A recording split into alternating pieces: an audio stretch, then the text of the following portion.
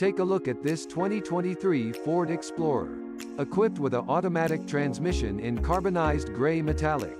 This car comes with some great features including adaptive cruise control, heated steering wheel, Android Auto, Apple CarPlay and more. Come in and check it out today.